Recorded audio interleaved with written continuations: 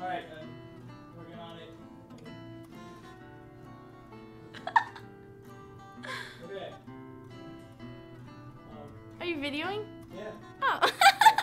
Okay. Got it.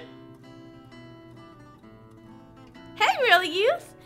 This weekend we are going to a Hillsong concert on Friday.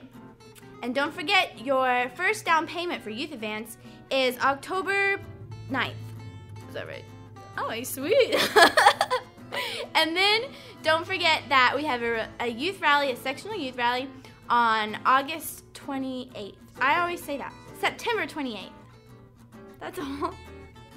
Don't forget, t-shirt money. T- t-shirt, t-shirt money due.